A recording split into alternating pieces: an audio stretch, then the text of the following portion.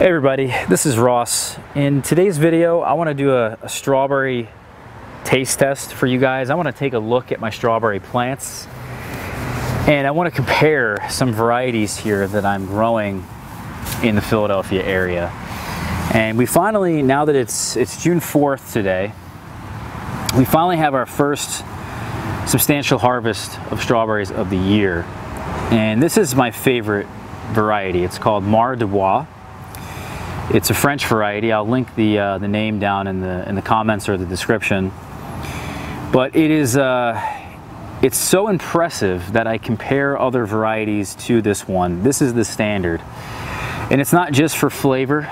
Uh, we'll talk about the flavor in a minute, but this is the tastiest strawberry I've ever had, um, besides the Alpine strawberries.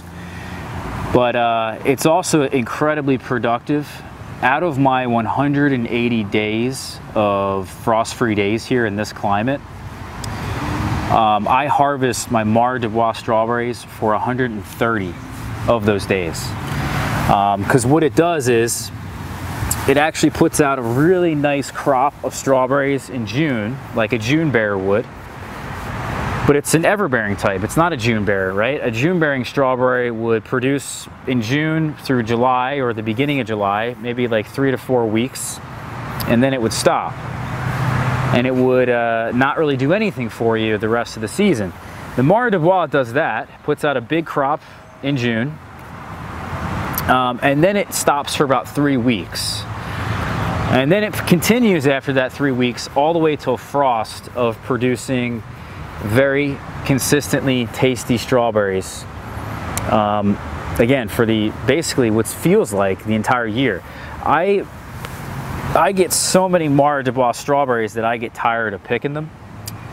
Um, last year I couldn't keep up with the production. Um, I couldn't eat them all. I had less people to feed, so I decided that I was going to freeze them and make them into jam. And I I didn't, it took me a while to make the jam. I ended up defrosting them and then never really getting around to it. And it was really just a, a big mess of strawberries. Um, so what I'm gonna do now actually is I'm gonna eat a number of these. My parents are gonna get some, my brother's gonna get some.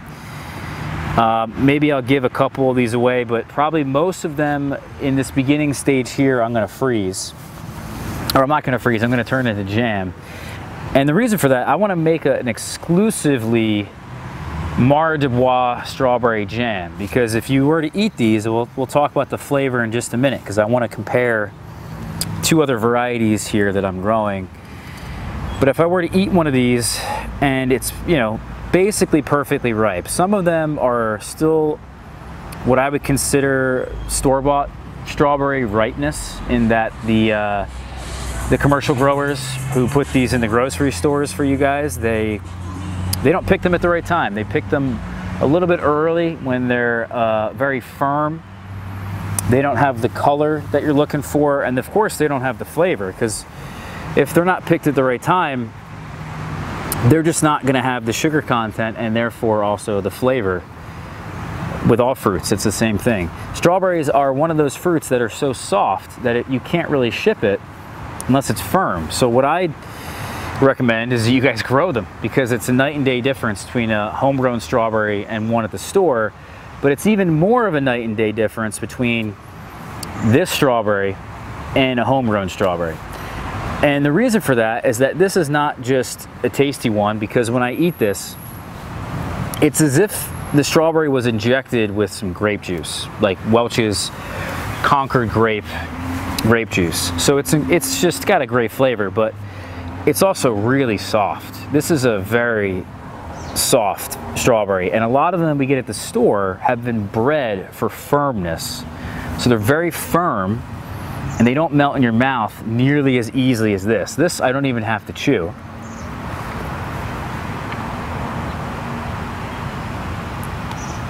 Wow. Yeah, it's on another level, guys. You, you can basically crush it just with your mouth and not with your teeth. You could basically, with your tongue in the roof of your mouth, you could just crush it. It's like eating chocolate. It's so smooth, it's so good. But you know what? I even though I love this one so much, maybe I'm crazy, but there could be something better out there, right? there could be something better out there. So I've grown a number of varieties in the past now. And um, I used to grow, I still am growing it. It's called Earliglow. And I planted some underneath my apples and underneath my grapevines over there. We had a really big patch actually over there by the pears and the, uh, the apricots and the plums. Uh, but we've been moving things around. I planted raspberries over there and you know, I've been doing different things in construction and, and that bed isn't just looking so great this year. So there's not as many Earliglow plants or strawberries to speak of this year. In fact, I'm sort of debating whether or not I should get rid of it entirely, the, the variety entirely, because as I've said, these Mara des Bois strawberries that I've harvested today are just blowing them out of the water. It's uh, The Earliglow is quite early, but uh, Mara des Bois is right there. I mean, it's not like the Earliglow because it's called early.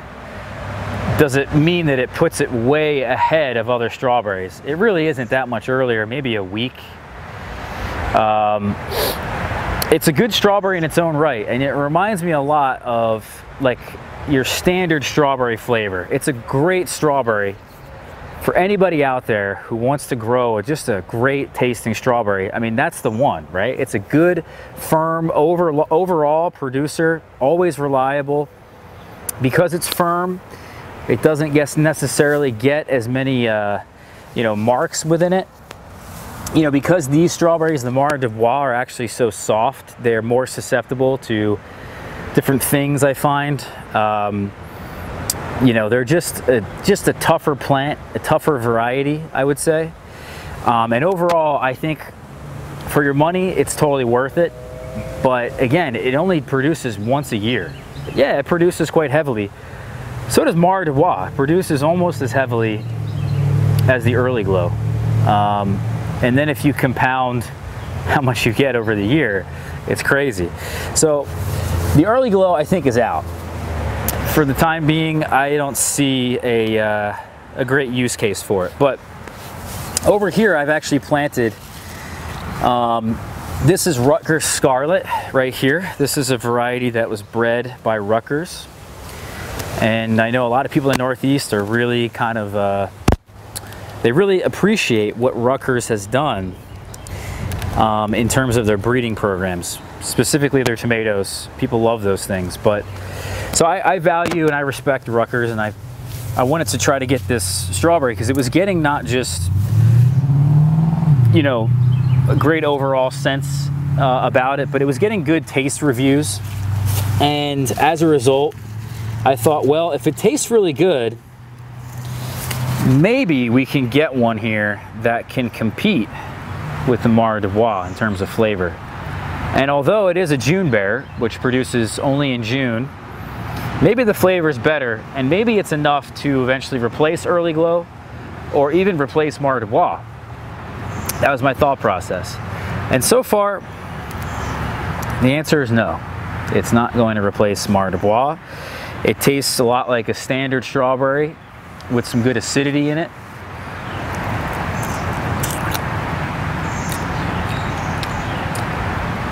However, it is really good. And I put it actually a notch above Earliglow, but a little below the Mara des Bois. The Mara des Bois has such an interesting flavor, like an alpine strawberry. It's hard to ever beat that, I think. But this is actually quite acidic. So it has a really nice acid balance.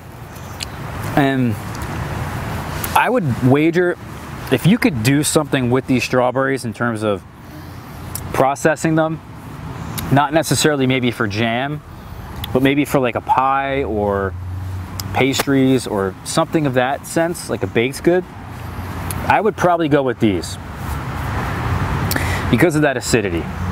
Um, not that the Mara des Bois doesn't have the acidity, because if you pick them a little bit earlier, when they're not as ripe, I think the acidity is still there. Yeah, it's just not as there. It's just not there as much. So, you know, if you really want something acidic that, that really comes through, I recommend the, the Rutgers Scarlet. Now, I do have another variety I want to show you.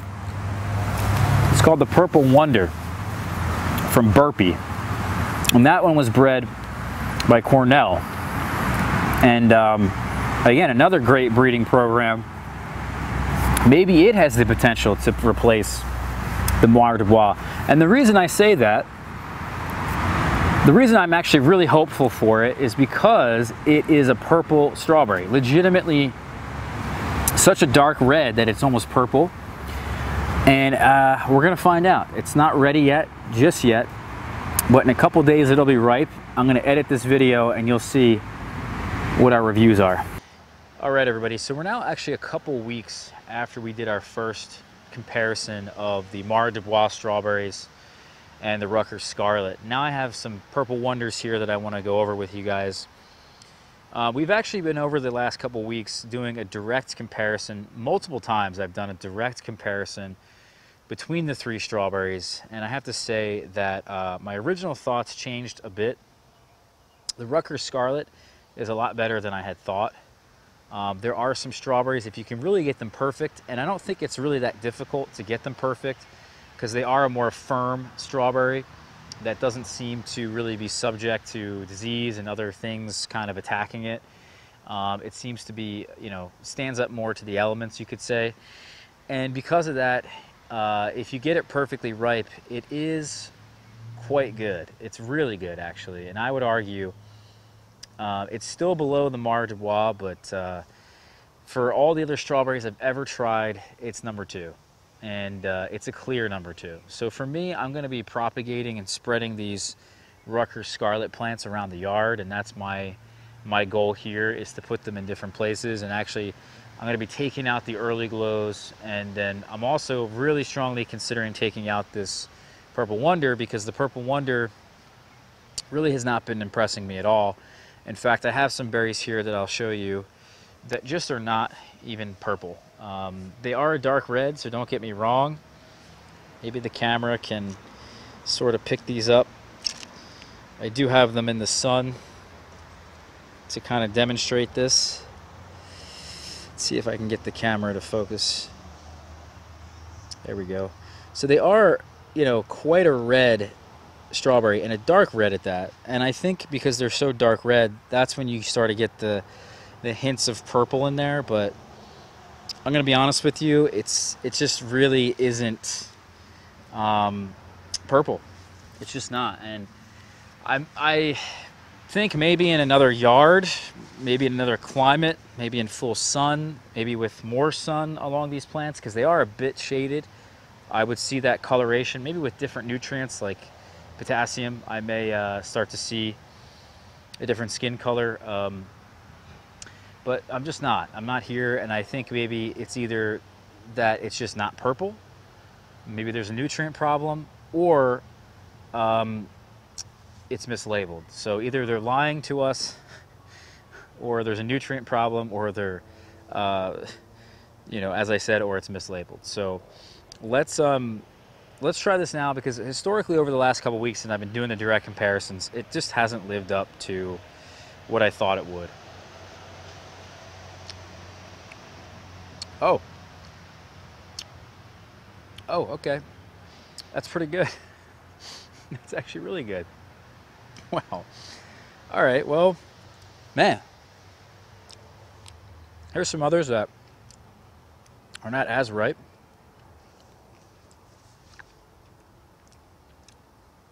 Well, it's a lot better than I had originally thought. And I think the issue I'm running into, I guess, actually, even having said all of that prior, where there's those three different scenarios, I think I'm just not picking them when they're perfectly right. That's all it is. Uh, they'll turn red, and it looks like they're ripe. But if they're red and they're a lighter red, they're kind of watery and almost tasteless. Then if they turn that dark red like I just ate, they're actually quite good. And I imagine maybe if I can even let them ripen for another day, um, they'll get that purple color and they'll probably be even tastier than what I just had, but that was quite complex. And I really am impressed by that strawberry. I still would not put it above Mara des Bois, but I guess I need more more time with it, more opinions, because that was, uh, that was actually really good. Um, that may even be the best strawberry I had today, and I had a lot of Mara des Bois today. So, interesting, but yeah, the Rutgers Scarlets right here and the Mara des Bois over there, and I'm gonna definitely be trying to get as many of these in different locations, I think, at the yard. Uh, because I do value, maybe I mentioned this in the, the first half of the video about having June bearing strawberries and how you don't have to pick them all year. You just pick them all once in, in June and you're good. So I do want some more June bears around the, around the yard. Excuse me, guys. And uh, yeah, I think those two are actually really quite something. I'm, I'm impressed. They, it definitely, both of them beat Earliglow in terms of flavor. And uh, yeah, maybe I'll even keep Earliglow, I guess, because if Earliglow is much earlier than the other three varieties I'm growing, then it might just have, you know, a spot here permanently. I don't know. But pretty cool. So yeah, thank you guys here for watching this one. If you enjoyed it, check us out on Facebook, Instagram. Subscribe, guys, and check out our blog, figboss.com. See everybody soon. Take care.